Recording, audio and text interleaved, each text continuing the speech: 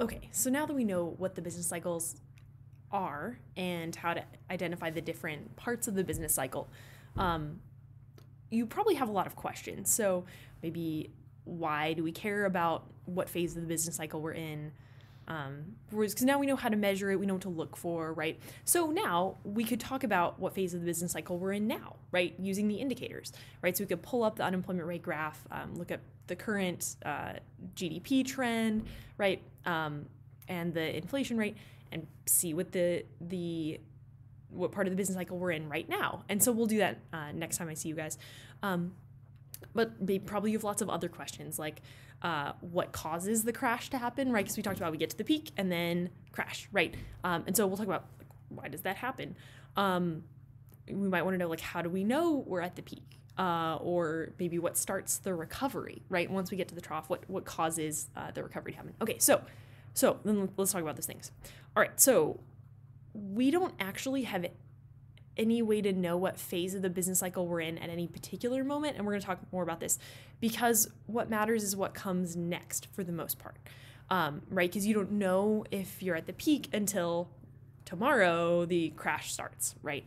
Um, and so it might be that you know things feel really great right now, and maybe things are going to keep feeling great for years and years and years, right? Um, or maybe the economy will crash tomorrow, right? Uh, I say that every year uh, and last year it turned out to be true, right? Because around this time last year, the economy did crash very quickly. Um, but it didn't the previous seven years uh, before that I've, I've taught econ, right? It's like, it's like maybe it'll crash next year, and it didn't for like seven years straight. Okay, so the GDP just kept keep going up, kept going up. Um, but then the coronavirus lockdowns happened, and everything shut down, and then suddenly very sharp decrease in real GDP, very sharp increase in the unemployment rate, um, and uh, decrease in the price level. Um, okay, so then what causes a crash? Okay, so obviously um, the crash that happened about a year ago was because of, of worries about the coronavirus, um, and you know, in some industries where the coronavirus was spreading. Um, you know, businesses had to shut down, uh, and obviously that impacted real GDP and their ability to hire workers and all of that. Um, but normally recessions happen uh, or begin with um, a crash in a particular market that sends reverberations. So in 1929, it was a, a stock market crash um, that was the like catalyst for the Great Depression.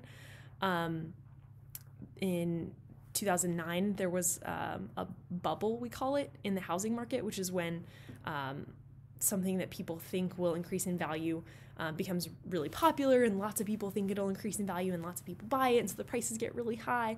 And then people realize wait the price of this has gotten really high it probably isn't sustainable. The price is probably going to go down. I'm going to sell before anybody else. And then the price goes down a little bit right? And then everybody panics because they don't want to be the one who still holding it when the value falls right? And so everybody tries to sell at once and the prices collapse okay? So that happened in 2009 in the housing market. Um, and so in certain places, Phoenix and some places in California especially, um, house prices fell dramatically. Um, and that caused a lot of panic and caused a lot of people to lose their jobs and companies to shut down and demand to fall.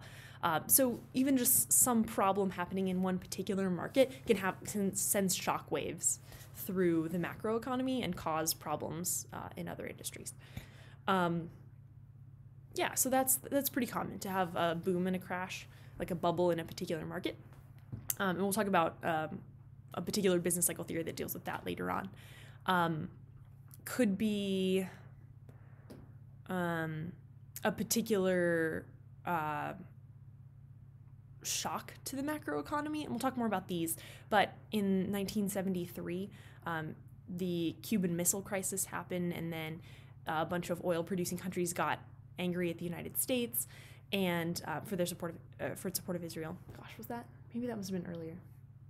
Um, maybe I'm getting the times mixed up. But the um, uh, the Organization of Petroleum Exporting Countries, which we talked about as an oil producing cartel, um, got really annoyed at the U.S. support of Israel and so refused to sell oil to the United States. And so oil prices in the United States skyrocketed because at the time we were importing a lot of oil and not producing as much of our own as we do today. And so um, as energy prices skyrocketed in America, obviously that had huge implications for everyone who uses energy, which is every company, every person. And so, um, yeah, huge increases in, in prices of certain things and just a lot of panic and uncertainty. Um, and, you know, again, a bunch of companies lost, uh, went out of business, a bunch of people lost their jobs. Um, and so, uh, so pretty much anything that causes a, shock um, can like be the cause of, of a crash. Um, because people are pretty quick to panic. Okay, so the first thing they panic about when things are going wrong is losing their jobs. Okay, and that has really significant implications because if they're worried about losing their jobs, then they don't want to spend money, right? Um, because they want to save money so that if they lose their job, they have some savings to live on. Okay, but it's a problem if lots of people start saving suddenly and then companies aren't able to sell as much as they expected to. They panic, they cut a bunch of workers, right? So, really, any big shock um, could be the thing that causes a peak, uh, right? That causes, you know, an expansionary period to become a contractionary period. Okay. Um, right? It just turned out that the 10 years before the coronavirus pandemic was just a time of straight expansion. Okay, so the expansionary phases tend to be very long, as I said before, uh, and the contractionary phases tend to be quick. Okay, so you get you know steady, steady, steady, drop, and then steady, steady, steady, drop. Um, okay, so that's kind of how that rolls. Um, okay, and so then thinking about what causes a recovery to happen is a similar idea. Um, so you have the, the crash, things are bad, bad, bad, bad, right? And then you get to the, the trough, things are bad, right? But they, they turn around, right, and you then have the recovery. And so the recovery can happen um, for a number of different reasons. Um, we'll talk about some government policies to try to get the recovery to happen faster. Um, but the, the economy has some mechanisms to help bring things back to normal, and so we'll talk about those too.